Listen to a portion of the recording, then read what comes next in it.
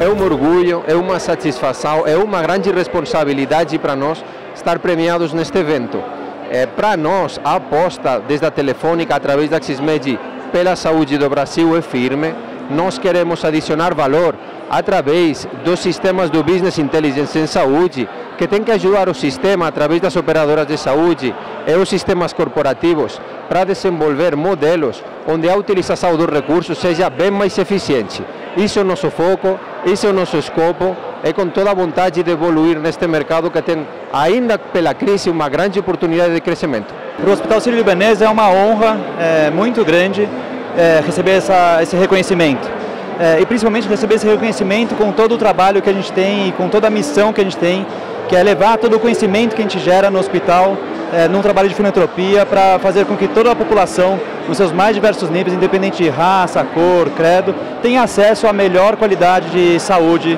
é, disponível no, no Brasil. Então, para a gente veio coroar um trabalho que começou em 2013, final de 2013, que era a intenção nossa de aumentar a integridade nas relações dos players da área de saúde. E quem, quem começou isso foi a Abride, através dos distribuidores, que sempre foi visto como um dos vilões da história. E através de um trabalho junto com o ETS, com a Transparência Internacional, a gente montou o Instituto Ética Saúde, que é hoje um sistema de autorregulação do próprio mercado.